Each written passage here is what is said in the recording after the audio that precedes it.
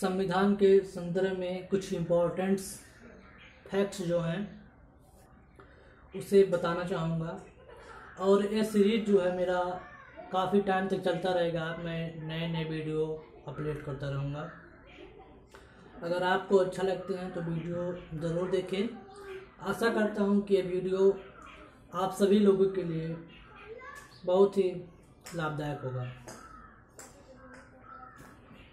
संविधान के संदर्भ में जो मेरी पहली कल्पना है, कल्पना क्या सत्यता है कि संविधान जो है, वह उन आधारभूत नियमों और कानूनों का संग्रह है, जिसके द्वारा किसी भी देश का शासन, प्रशासन चलाया जाता है। भारत का संविधान जब भारत स्वतंत्र हुआ, उसके बाद हमारे देश के काफ़ी विद्वान लोग, जैसे पंडित मोतीलाल नेहरू, पंडित जवाहरलाल नेहरू, डॉक्टर भीमराव अंबेडकर और राजेंद्र प्रसाद आदि लोगों ने अपने भारत देश का शासन या प्रशासन अच्छे और सुचारू रूप से चलता रहे, इसके लिए संविधान बनाने का विचार रखा।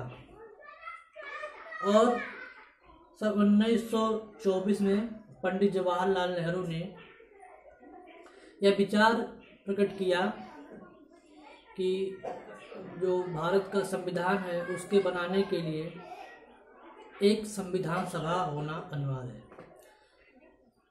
तो इन्होंने भारतीय जो थे, जो हमारे यहाँ के मतलब कि जैसे शासन जब समाप्त हुआ अंग्रेज़ों का तो फिर भी कुछ अंग्रेज़ रह गए थे भारत में और भारत के नियम कानून में भी पार्टिसिपेट कर रहे थे।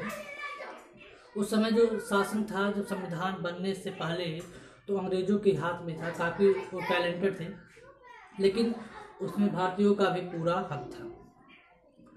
तो संविधान सभा की मांग के लिए बिल पास किया गया। एक नोटिस जारी किया गया कि हमें संविधान सभा का गठन करना और अपना संविधान बनाना चाहते हैं। तो पहली बार जब जारी किया गया तो अंग्रेज़ों ने उसे निरस्त कर दिया। लेकिन सन 1946 में मंत्री सन मंत्रिमंडल मिशन योजना के अंतर्गत अंग्रेज़ों ने भारतीय संविधान सभा के प्रस्ताव को मान लिया और स्वीकार कर दिया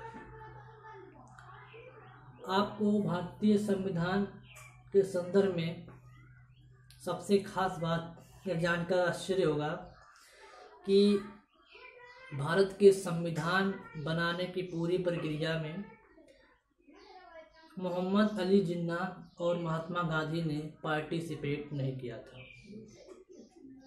जबकि महात्मा गांधी बहुत ही उच्च कोटि के विद्वान थे उस समय, सबसे उच्च कोटि के विद्वान थे। जब भारत का संविधान एक मिनट सर।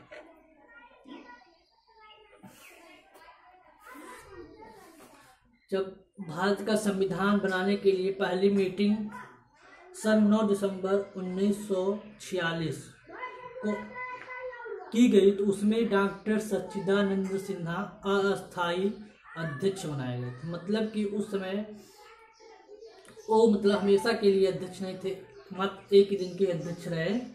और उनकी अध्यक्षता में यह पहला मीटिंग जो हुआ 9 दिसंबर 1946